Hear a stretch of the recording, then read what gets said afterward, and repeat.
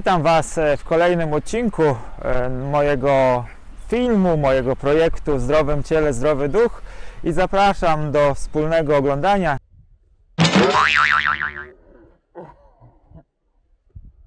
Dziś mamy gościa specjalnego, bardzo młodego człowieka, który bardzo ambitnie podchodzi do pasji, którą ma, a jest to kto? Damian Sylwestrzak. Damian, pochwal się i podziel się z nami, czym się zajmujesz na co dzień. Na co dzień jestem sędzią piłkarskim. To chyba o tej pasji mówisz. Tak, tak. Będziemy rozmawiali o życiu aktywnym Damiana, czyli o piłce nożnej.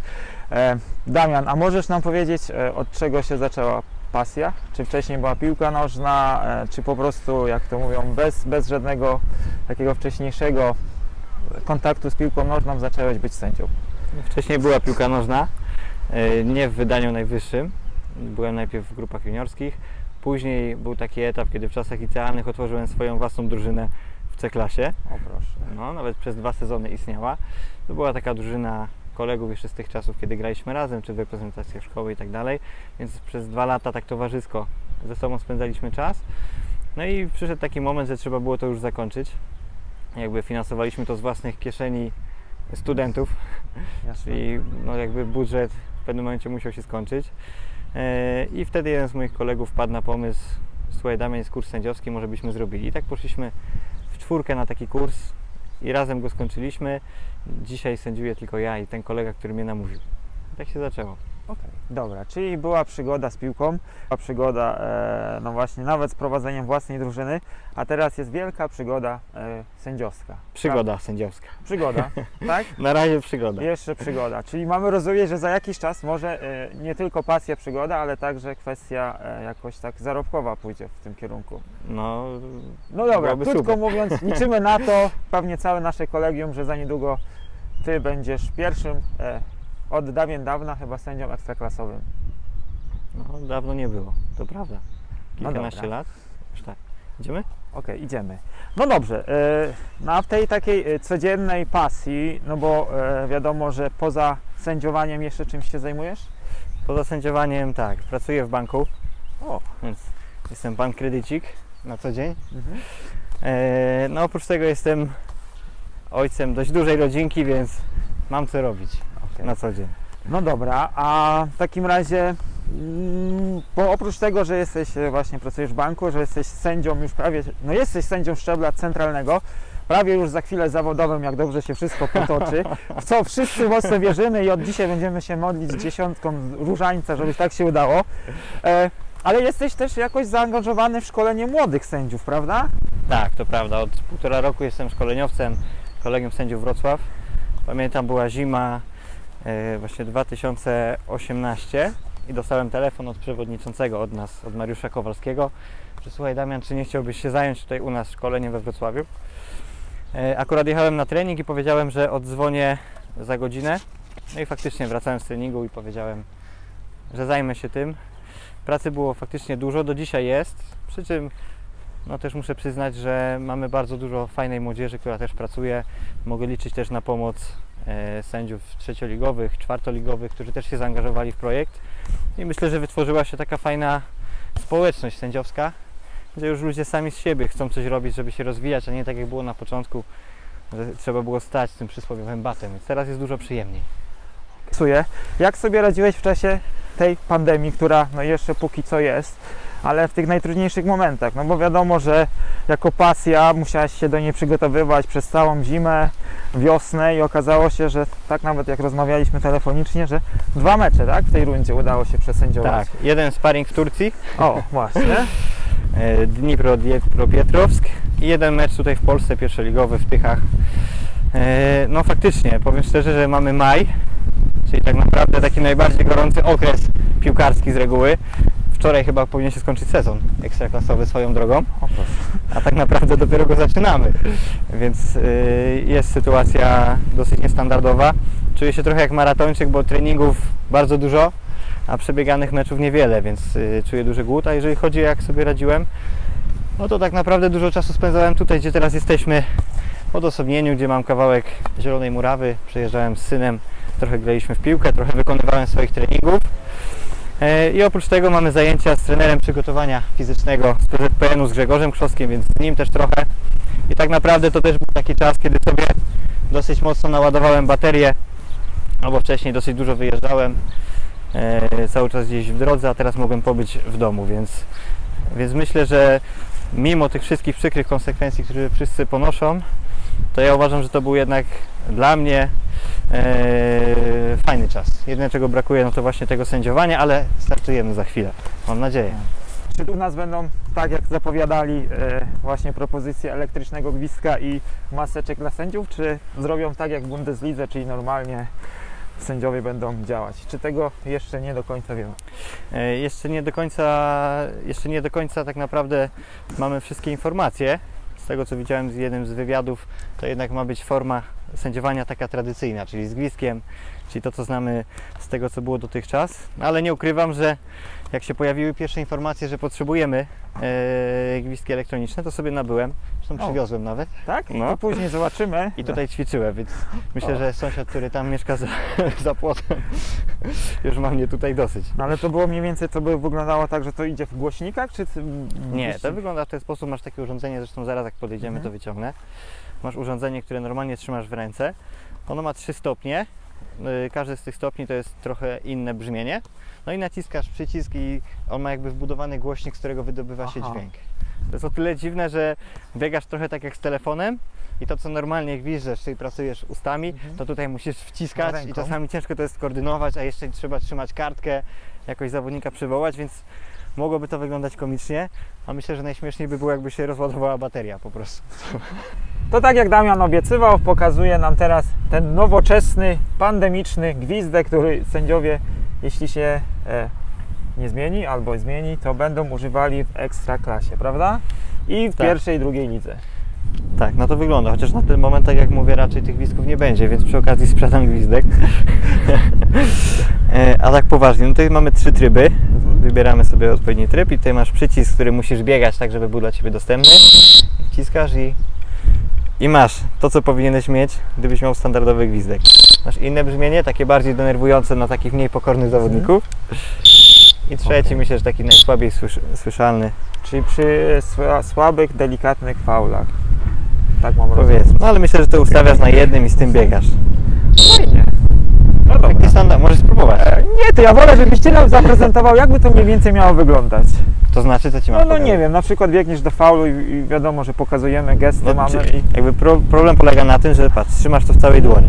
Jak ja jestem praworęczny i prawą ręką z reguły sięgam po kartkę, no to teraz jest problem, co z tym fantem zrobić. Inna sprawa jest taka, że gwizdek jest czerwony. Mhm. Czyli nie Czyli może być taki bo- sugestywny dla ludzi z boku, że, że być może pokazujesz czerwoną kartkę. A to może by działało łagodząco na zawodników z kolei, więc po prostu widzisz jakiś faul, naciskasz i musisz sobie stonować. Jak masz coś delikatnego, pyk, coś mocniejszego, tak? A jak chcesz zawołać zawodnika, to jest teraz koordynacja.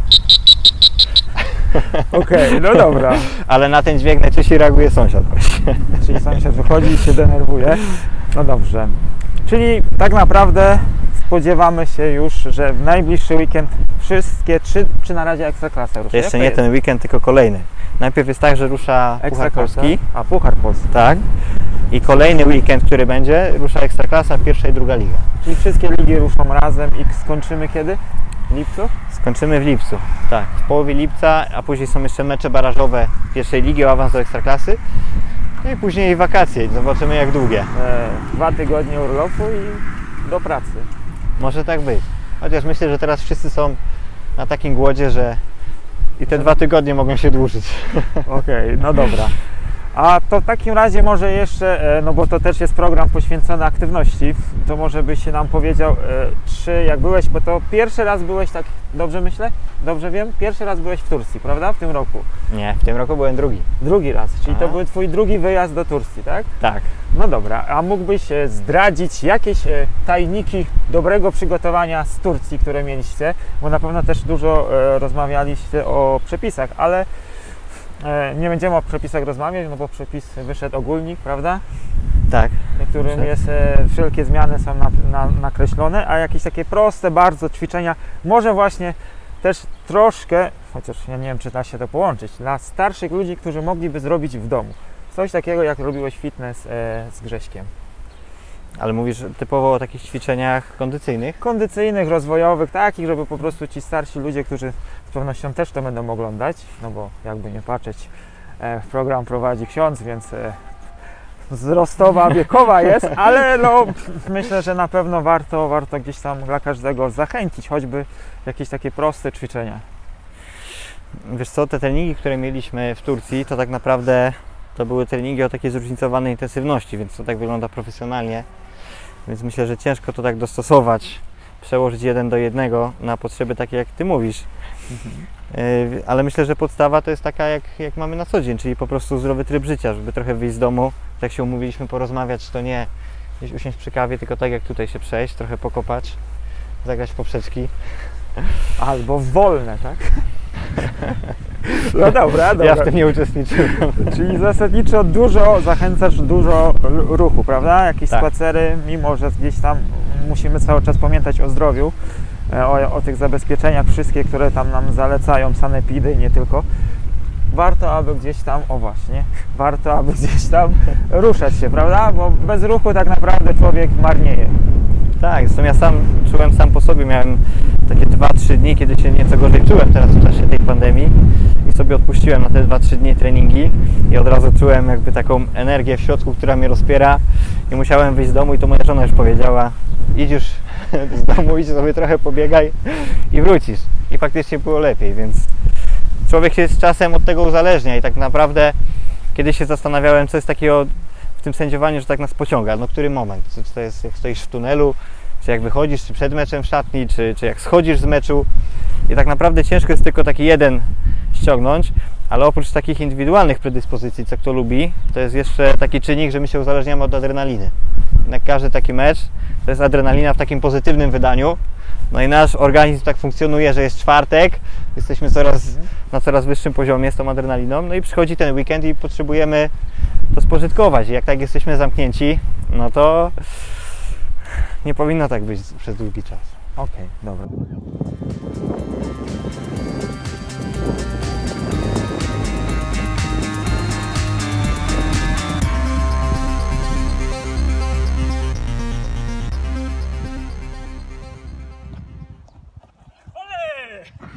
Duch. W zdrowym ciele zdrowy duch mówiłem o tym, że będziemy też pytali sportowców, ludzi aktywnie żyjących o, o wiarę, tak? Czy wiadomo, jest to kanał księdza, więc nie wypadałoby nie zapytać. E, To teraz pytanie o wiarę. Czy Pan Bóg jest ważny w Twoim życiu? Czy e, masz też jakąś właśnie taką, e, przygotowując się do meczów, e, taki moment, kiedy rzeczywiście Pana Boga e, no, prosisz, tak? O wsparcie, o siły, o pomoc. A wiem, że też studiowałaś na papieskim wydziale teologicznym, na którym ja studiowałem, więc e, już bym mógł sobie odpowiedzieć sam, że Tylko ja pewno... trochę krócej niż ty. Tak, trochę krócej niż ja, e, że na pewno coś w tym kierunku jest, ale wolałbym to usłyszeć od Ciebie. Czy właśnie e, masz jakiś taki rytuał, modlitwę, moment, e, w którym właśnie Pan Bóg e, przed meczami, ale też w życiu codziennym jest ważny? Znaczy, jeżeli mam powiedzieć na swoim przykładzie, to, to myślę, że jest ważny, nawet bardzo ważny. E, I to myślę, że nie tylko w sędziowaniu, ale taki rytuał, o jaki pytasz, to ja generalnie do sędziowania podchodzę na zasadzie takiej, jak do wielu innych rzeczy w życiu, czyli że e, tak naprawdę równie dobrze mógłbym być sędzią koszykówki, mógłbym być prawnikiem, lekarzem, kimkolwiek innym, a akurat zostałem skierowany na taką drogę i ta droga bardzo mi się podoba.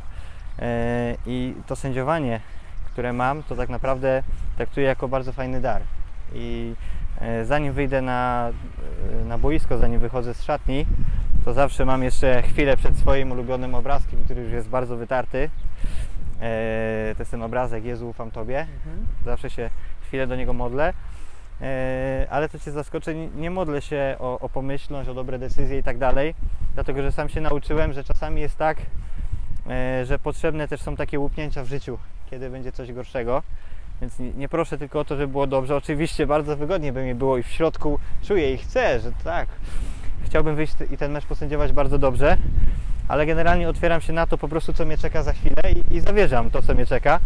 I jak się e, żegnam, to zawsze czynię właśnie z pierwszym gwizdkiem, to zawsze sobie powtarzam, że Panie Jezu, dziękuję Ci za to, że mogę sędziować i ofiarowuję Ci to, co robię jako to podziękowanie i staram się w to angażować i stąd też moje zaangażowanie e, też w pomoc tym młodym sędziom, bo to też nie ukrywam, dużo czasu kosztuje, też tego czasu rodzinnego, no, niestety czas nie jest z gumy, e, no więc czasami muszę wszystko jakoś bardzo mocno łączyć, ja też nie chcę zaniedbywać rodzinę. E, No więc generalnie to sędziowanie traktuję jako no, jeden z takich największych darów od, od Pana Jezusa i jestem bardzo wdzięczny za to, że, że je mam.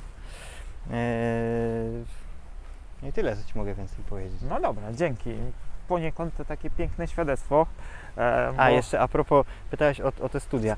No właśnie poszedłem na te studia, żeby było śmiesznie i tam poznałem moją żonę. I to było tak, że wszedłem na tą salę, pamiętam. I było tak, że akurat papieski Wydział Teologiczny, to będziesz wiedział. E, najpierw jest takie rozpoczęcie roku dla wszystkich. Tak. Tam jest rozpoczęcie też dla ludzi z innych kierunków papieskiego Wydziału Teologicznego. Tam była teologia, e, była bodajże, nie wiem czy psychologia, pedagogika. Pedagogika. Pedagogika i chyba jeszcze jakiś tak. kierunek. Filozofia, ale O, tak, tak, tak. O, filozofia. To była filozofia. Zdecydowanie. E, I wszedłem, tam było, nie wiem, około sie- 80 osób, może 90. Jakby na realia wrocławskie to nie jest dużo, bo jak wejdziesz sobie do Politechniki, to masz 500 osób na przykład na dzień dobry. I pamiętam, że tylko zrobiłem taki szybki research i po lewej stronie z tyłu siedziała moja przyszła żona. Zaraz się przysiadłem. Aha, okej. Potem się okazało, że też jest z teologii. No i potem na, na zajęciach się poznaliśmy, a potem poszło już e, potem poszło już bardzo szybko, bo tak naprawdę w ciągu roku i zdążyłem się oświadczyć e, i, i zdążyliśmy wziąć ślub. Więc to taka historia na pstryk, można powiedzieć. Okej. No to jak widać, teologia łączy też ludzi.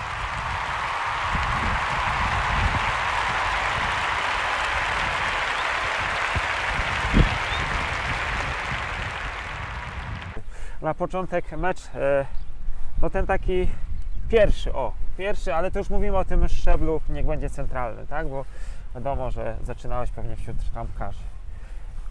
Tak, zaczynałem od najniższych lig, ale nie zaczynałem wśród trąbkarzy. To Cię zaskoczę. O, Bo zrobiłem kurs i było, było u nas tak, że aby sędziować seniorów, trzeba było czekać rok, półtora, bo była kwestia tego, że kolegium sędziów obawiało się o młodych sędziów. aha. E, I ja właśnie z tym kolegą, który zaprosił mnie na kurs, który mnie namówił na ten kurs, zgłosiliśmy się do prezesa, który prowadził C-klasę, czyli rozgrywki też seniorów, realia mniej więcej B-klasowe. E, tylko one nie podlegały bezpośrednio pod związek i on zaczął nas obsadzać na mecz, więc tak naprawdę w wieku 19-20 lat, takimi bardzo młodymi twarzami, jechaliśmy na, na mecz i pamiętam, że jeździłem po takich miejscowościach, takich drużynach jak Tarant, Krzyżowice, WKS Węgry, więc e, też poważne zawody. I pamiętam właśnie jeden z pierwszych meczów, niedawno właśnie e, Paweł odszukał te zdjęcia i mi podesłał.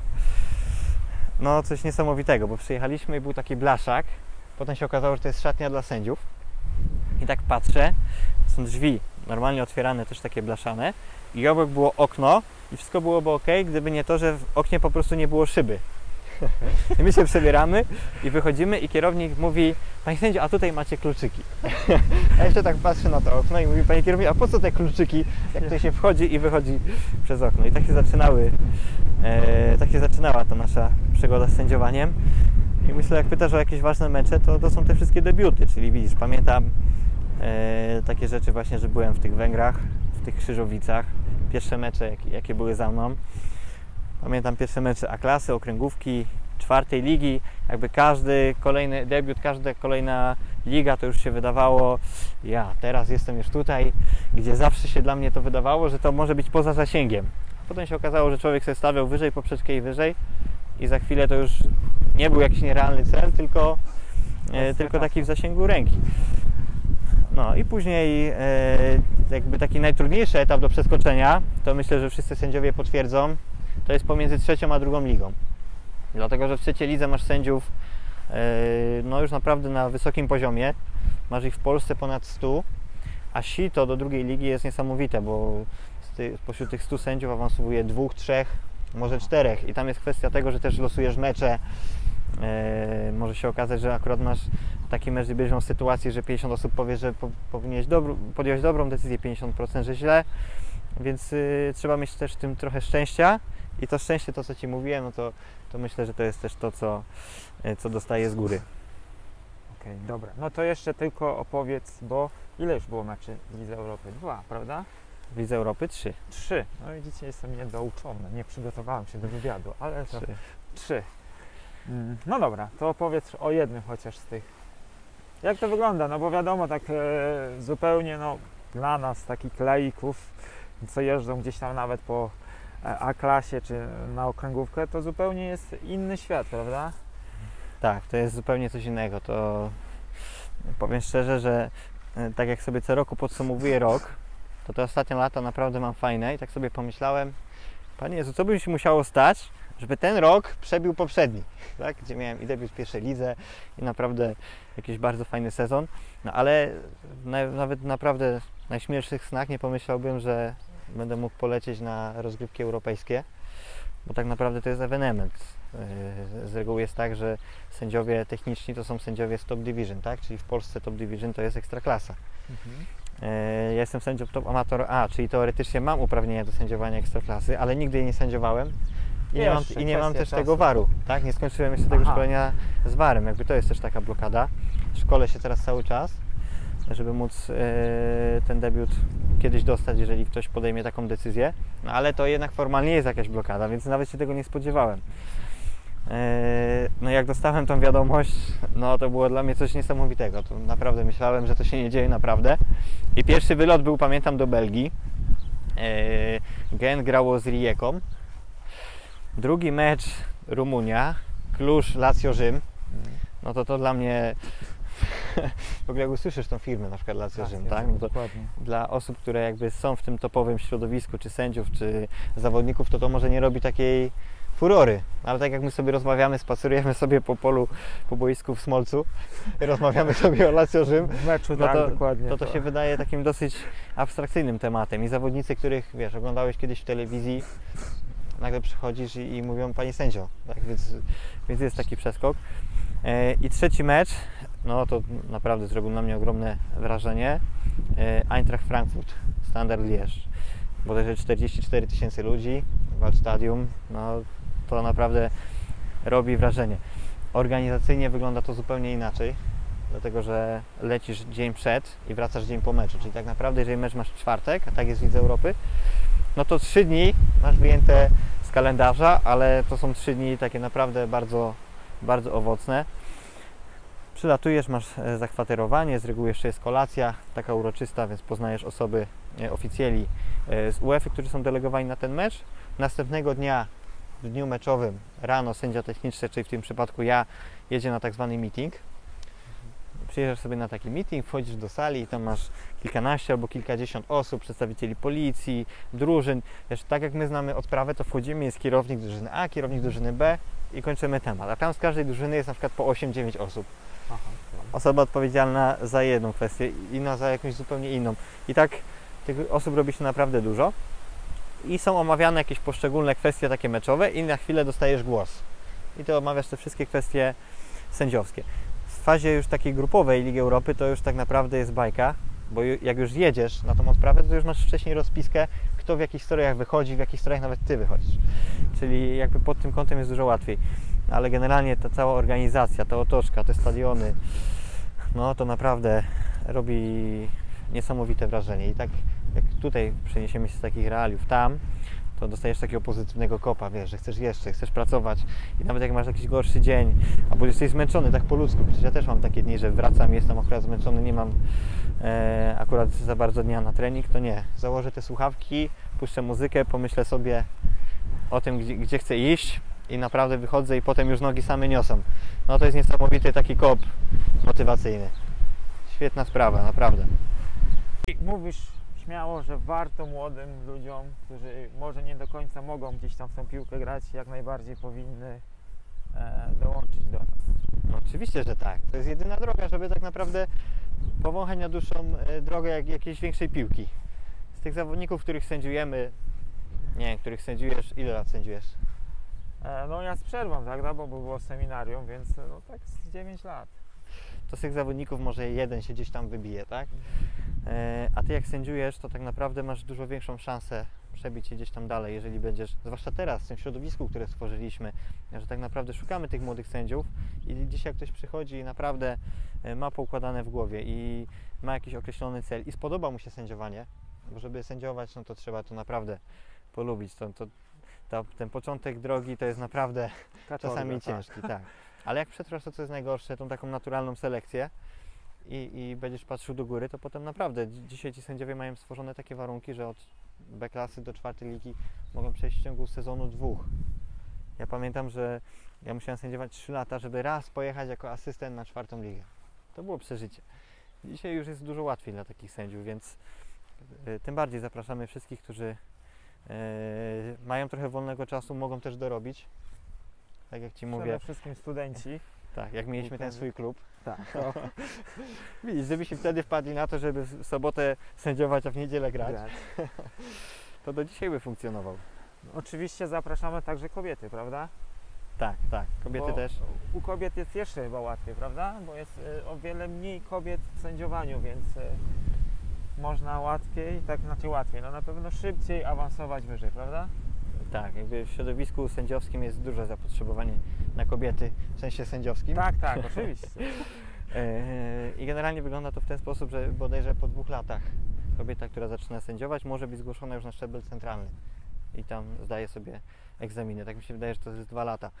A przypomnij sobie teraz to, co ci, to, co ci powiedziałem o trzecioligowcach, tak? Że masz ponad setkę Setkę i no. awansuje dwóch, trzech na szczebel centralny, bo szczebel centralny to zaczyna się od drugiej ligi. Więc jakby ten przeskok między kobietami a mężczyznami jest dosyć odczuwalny. No dobra, myślę, że chyba wszystkie pytania. Gdyby się coś zrodziło, to najwyżej dopytam jeszcze po treningu. E, już teraz, Damian, dziękuję Ci za ten spotkanie. E, obiecałeś mi trening, Dzięki. więc na pewno go zrobię. Może nie na takiej samej intensywności jak Ty, no bo ja, żebym biegał na 4,30 przykładowo, to musiałbym e, jedynie kilometr przebiec. Nic więcej nie mogę, ale, ale postaram się choć dorównać trochę. E, Więc póki co dziękujemy. Na pewno jeszcze po treningu, jeżeli będę mógł w ogóle cokolwiek powiedzieć i się odezwać, to e, coś e, Damian zachęci Was do aktywności. Ale jak ty chcesz coś mówić po treningu, to musimy zmienić ten trening. Nie no, to niech będzie, trudno, przeżyję, może się uda. Dobra, także na ten moment dziękuję i widzimy się za chwilę na treningu, a po treningu e, jeszcze coś tam dopowiemy. Dzięki. Dzięki.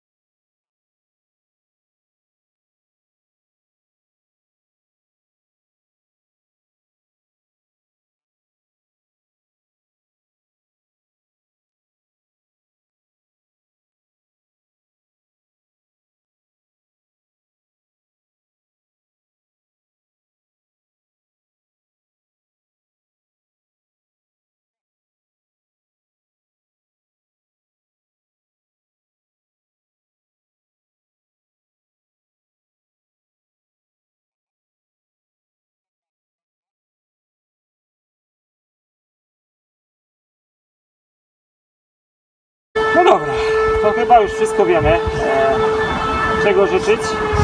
Zdrowia, zdrowia. Dużo zdrówka, szybkich powrotów, ligi i wszystkiego. Dobrych ludzi, dużo pieniędzy.